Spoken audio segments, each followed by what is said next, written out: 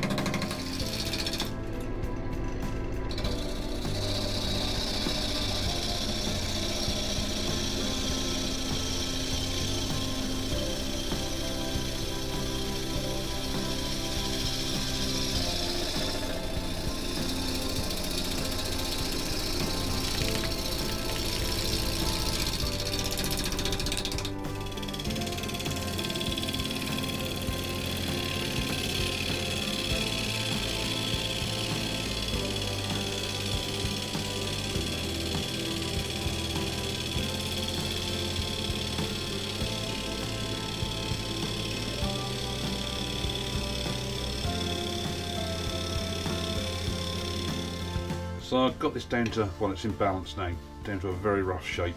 Um, got quite a bit of tear out, got one or two cracks which I'm going to fill with CA in a moment. Uh, thin CA and still got to perform, make the tenon on the bottom there. I'm undecided about the bark now. Um, a lot of this is really really nice. I've just got one little bit there where it's gone uh, and I don't really want to take that back so I may well um, leave that as it is um, and I will see when I hollow it out so I may well just give this all some CA around the top here just to keep the bark on as well for now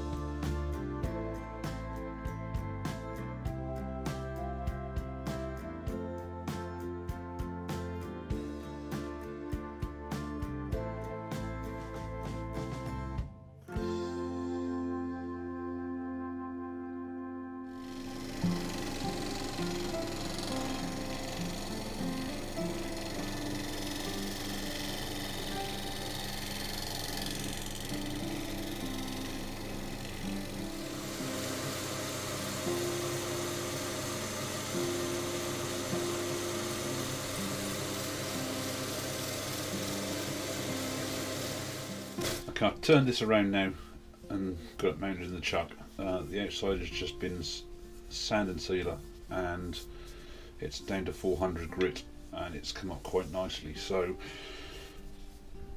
I'm going to initially try and keep some of this bark just to see what it comes out like. So I don't know how thick I'm going to go to start with, but I'm just going to start hollowing out the centre um, and just see what comes of it.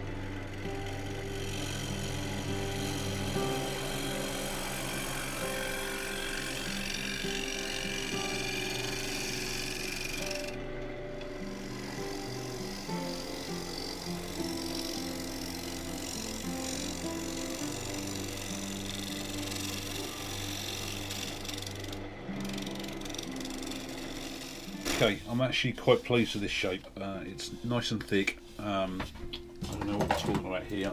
Talking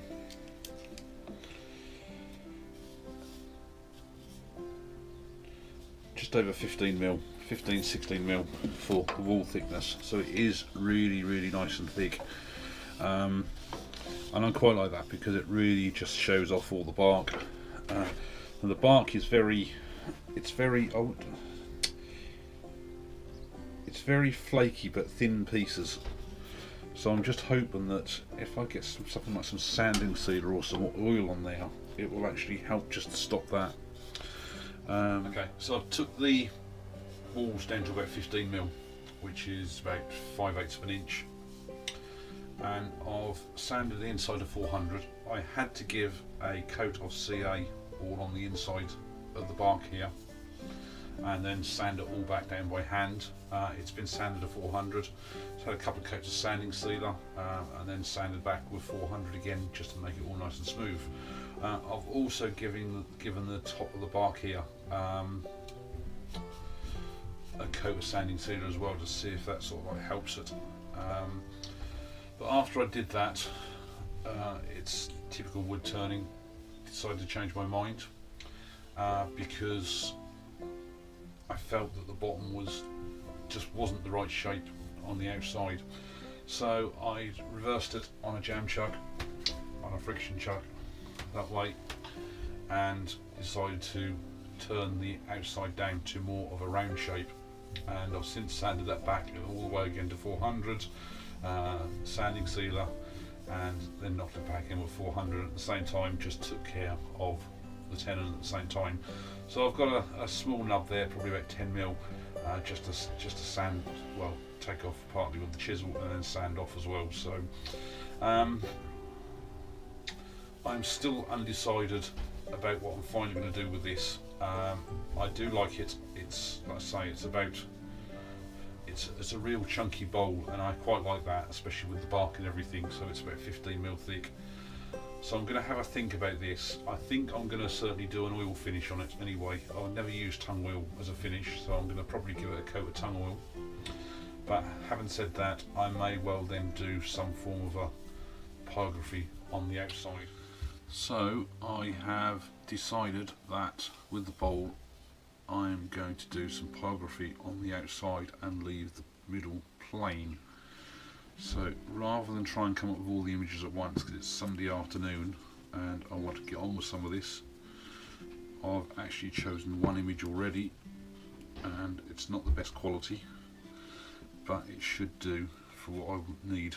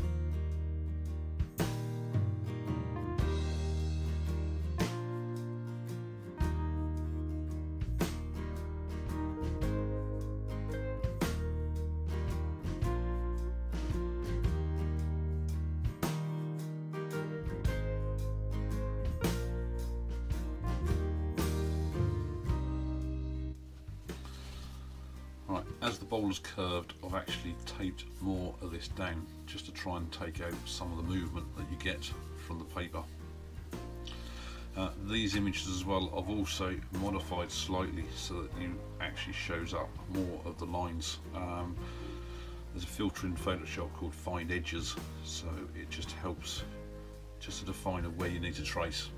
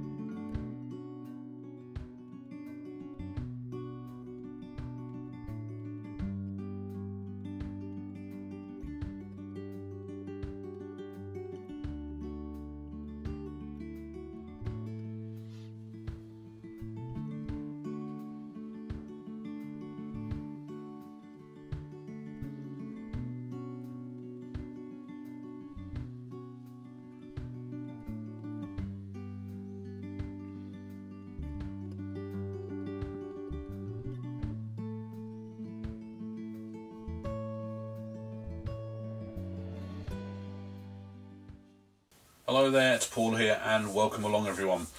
Uh, video this time, uh, calling this my owl bowl.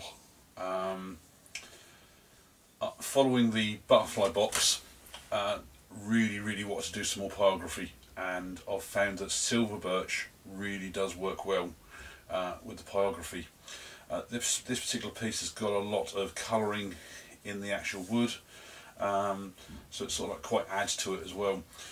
When I started this piece, uh, initially I probably wanted to do some form of a platter or something like that, but with that big chunk um, of a blank to start with, uh, I just thought it would be a waste not to do a bowl. Started off and I was really unsure about the bark. I didn't think it had very much detail or anything like that. I thought it was very flaky, it was going to peel off. Um, so I had no intention of keeping it. It wasn't really until I turned the bowl round and started hollowing out the inside and found that the bark was staying on there quite nicely that I decided to keep it. So I've left the walls quite thick, they're about 15 mil and I think really it works quite well uh, purely simply because of the bark and for the all the images basically off the web again usually copy them down, put them in Photoshop I knew roughly what size, I knew the sizes that I wanted, so I could measure them all out, resize them, print them, um, and then put them on the right parts of the bowl that I want to go. I gave it a coat of sanding sealer before I start doing the pyrography because I thought one it would clean up the wood, two show the grain and everything like that, any patterns, but I think it probably made it worse for doing the pyrography. I think another time I would probably just get straight on with the pyrography, finish up with the sanding sealer to clean the whole thing up. I've also just, I mean I was totally undecided about the finish whatsoever so this time I've just given it a couple of coats of tung oil and again the what I found as well is that silver birch doesn't really soak up much moisture like a lot of woods. So if this is your first time here, uh, please do subscribe. Uh, I put up regular videos, usually most weeks. Uh, at least that way you'll get notified every time I upload a video. Uh, for my existing subscribers, again, as always, a big, big thank you very much. It's so much appreciated. You keep coming back all the time. And I'd appreciate if everybody hit the share button, hit the like button, and please leave some comments below. Uh, thoroughly enjoyed doing this one. So thanks a lot for watching and I'll see you on the next project video. Bye.